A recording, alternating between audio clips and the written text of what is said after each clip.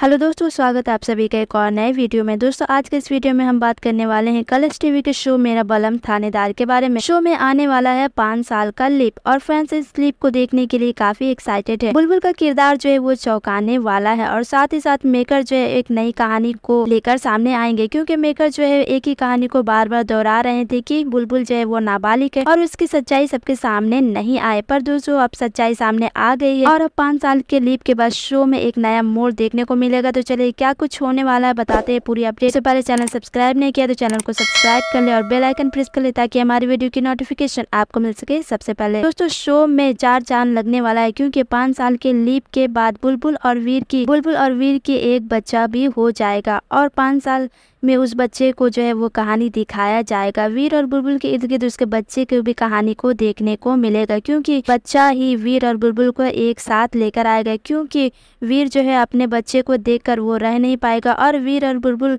जो एक हो जाएँगे। सो दोस्तों, जल्द ही आने वाला है ये नया मोड़।